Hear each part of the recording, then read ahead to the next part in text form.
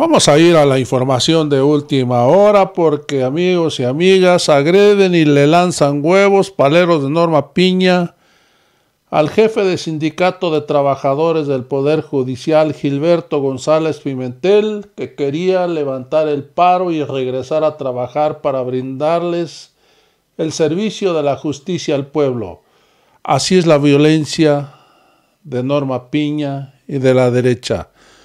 Hoy se le está saliendo este conflicto de las manos a Norma Piña, al Poder Judicial.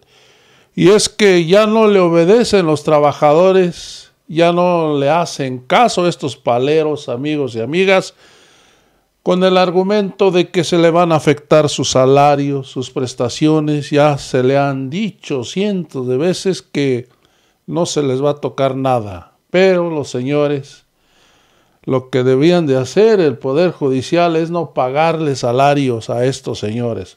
Vamos a ver este fragmento de este video, cómo le lanzan huevos.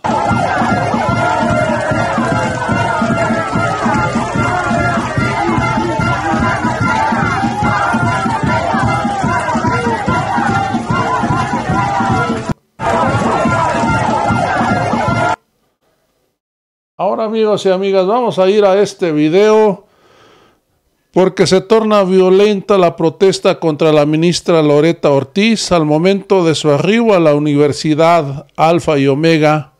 Trabajadores del Poder Judicial intentaron impedir el acceso de la camioneta en la que trasladaba y terminaron empujones entre los encargados de seguridad de la universidad y de los manifestantes. Amigos y amigas, a Norma Piña ya no le obedecen. Vamos a ir a este video.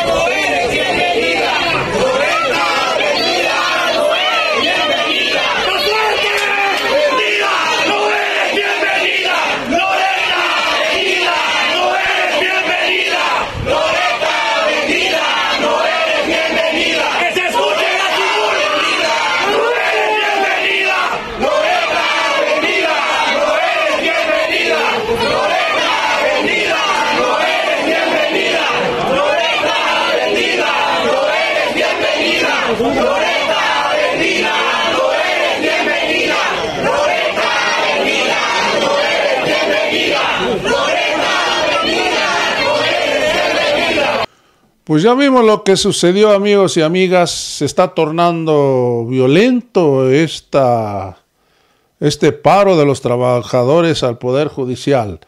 Aquí claramente, amigos y amigas, se ven que son elementos de la policía judicial. ¿Qué pasaría si los elementos de seguridad no, no protegen a Loreta Ortiz? Seguramente hubieran hecho lo que aconsejó esta diputada de Acción Nacional, donde dijo que tenían que linchar a todos aquellos que estuvieran a favor de la reforma al Poder Judicial. Estos son los elementos, el personal de Norma Piña. Amigos, vamos a ir a otro video rápidamente, amigos y amigas. El Poder Judicial se cae a pedazos. Hay un serio conflicto dentro del Poder Judicial ya se había hecho público un comunicado en el que se confirmaba que se terminaría el paro laboral de trabajadores y los trabajadores del Poder Judicial se niegan a trabajar.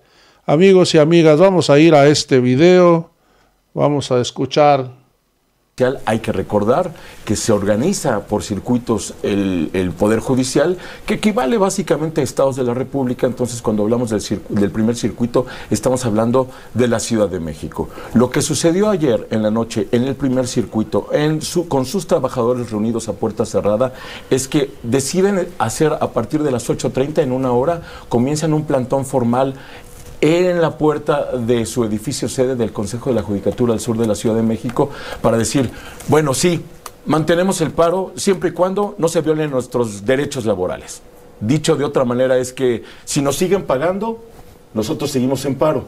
Pero si en la, si en la reunión de hoy a las 9 de la, de la mañana, puertas adentro, atrás de esa reja gris que estamos viendo, la decisión de los secretarios ejecutivos, que van a ser seguramente quienes van a hablar, en nombre de los consejeros es, muchachos tienen que volver, porque si no ya no les vamos a pagar, pues entonces en ese momento se levanta el paro. Es decir, por eso yo creo que estamos en, horas cruciales. Tanto así, Marco. Sí, por supuesto, Ciro, porque si ya hay una circular que está avisando de la votación de los consejeros que son la máxima autoridad en ese órgano regulador de todos los jueces y magistrados en el país, pues se tiene que acatar. Es tanto como si, como si mi patrón me dijera, oye, es que ya tienes que regresar a trabajar. No, yo voy a seguir en paro. Bueno, entonces te aviso, te voy a empezar a descontar. Uy, no, entonces yo creo que mejor si regreso, porque en el fondo de todo esto es, ¿y cómo va a funcionar? Un juzgado y cómo va a funcionar un tribunal de circuito si no es con las personas que estamos viendo a cuadro en la imagen de teléfono. Entonces, lo que sintetizando y concluyendo esto. Lo que podría también, es decir, es una variante, Ciro, es que las cosas están tan complicadas al interior del Poder Judicial de la Federación, porque hay muchos trabajadores molestos con la decisión que se dio el miércoles, antier, pues que a mí me parece, podríamos tener casos de jueces y magistrados que de plano digan, yo no voy a regresar. Oye, pero si ya está la votación, yo no voy a regresar. Y entonces que se inicie un procedimiento de total. Al final de cuentas, yo me iba a jubilar porque no le voy a entrar a la reforma. Pues ya escuchamos, amigos y amigas, hubo un acuerdo, hubo una sesión donde el Poder Judicial acuerda que se tenía que levantar el plantón se tenía que acabar este paro al Poder Judicial. Pero los trabajadores están revelando y es que al principio les dijeron, les dijeron que tenían que hacer ese paro laboral y les iban a pagar su sueldo. Amigos, lo que tiene que hacer la Judicatura Federal es decirles a estos señores que si no trabajan no se les pagan. Esto es lo que tiene que hacer esta Judicatura y ¿quién lo tiene que hacer? la presidenta de la Suprema Corte de Justicia, Norma Piña, pero lo dudo mucho que lo haga. El Poder Judicial se le está saliendo de las manos a la señora. No tiene la capacidad. Hoy se está demostrando eso.